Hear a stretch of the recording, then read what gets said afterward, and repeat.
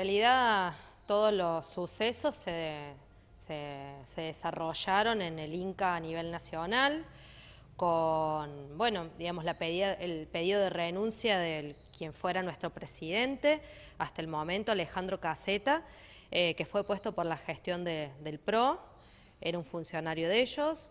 Nosotros nos integramos por los medios de comunicación, cuando digo nosotros digo todos los espacios incas, la sentimos como un atropello a la institución, a nuestra autarquía, porque inclusive el ENARC, que es el Instituto de Cine, eh, la escuela de cine que tiene el instituto, eh, también presentó su renuncia su rector, que fue un cargo concursado, hace 45 años que no se concursa el cargo de rector en esa institución.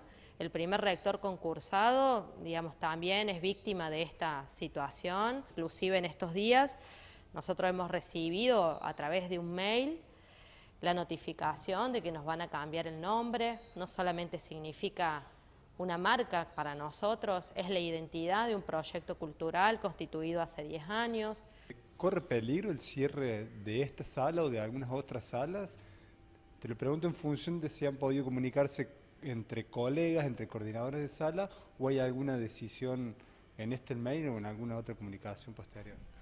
No, eso lo quiero como descartar completamente, incluso, eh, digamos, cuestionando, criticando esta serie de acciones, también en honor a la verdad, como siempre me, me he desempeñado, tengo que decir que desde que asumió la nueva gestión del Instituto eh, la gestión del PRO, nosotros hemos trabajado con total normalidad hasta estos acontecimientos, por eso que estamos como sorprendidos y también estamos como en una situación de alerta. Decimos, bueno, ¿qué, está pasando?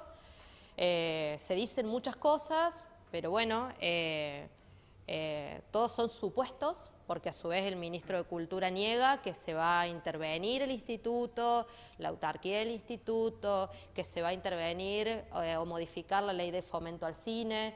Entonces, bueno, son dentro de los supuestos, digamos, eh, y lo que la gestión niega, nosotros estamos como en el medio viendo, digamos, cómo se van desarrollando un poco los hechos.